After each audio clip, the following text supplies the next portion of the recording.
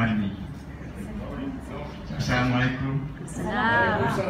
Selamat datang semua. Apa kabar? Bagus? So, saya adalah Ismail bin Usman, Daddy atau ayah kepada Muhammad Nizam. Baiklah, biar usaha saya mulakan begini.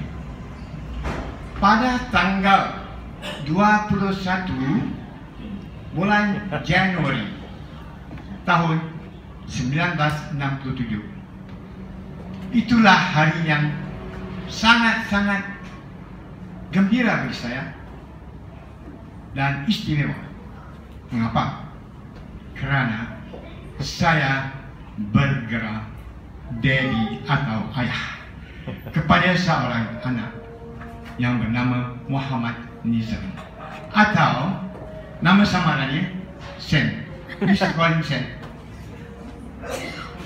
Uh, gets out of. Jadi uh, berhubung dengan perkara itu, saya bersyukur kepada Allah Subhanahu Wa Taala kerana telah mengurniakan saya seorang baby atau bayi yang dapat memulakan hidup saya sebagai seorang family dan berkeluarga.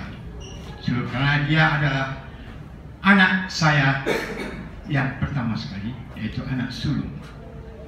So untuk pengetahuan kamu, saya ada tiga orang anak. Dua lelaki, satu perempuan. Jadi saya sangat gembira karena dapat berjumpa dia sekarang.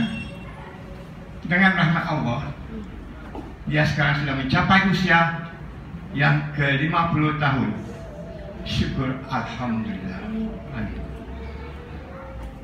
Jadi, nasihat saya sebagai seorang ayah atau daddy kepadanya ialah sentiasa mendekati Allah Subhanahu wa taala tidak kira di mana awak berada Nizam di mana awak berada bila jadi hidup kamu akan dirahmati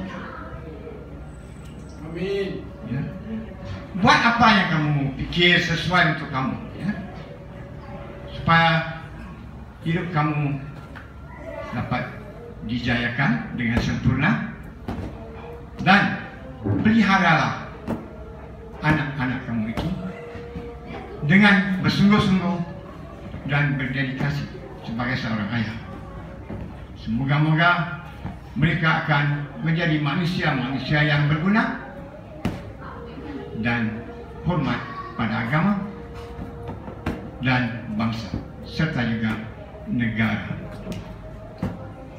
Jadi sebagai penutup saya ingin mengucapkan pada Muhammad Nizam anak saya selamat hari lahir yang ke-50 happy birthday Sam. Sekian terima kasih.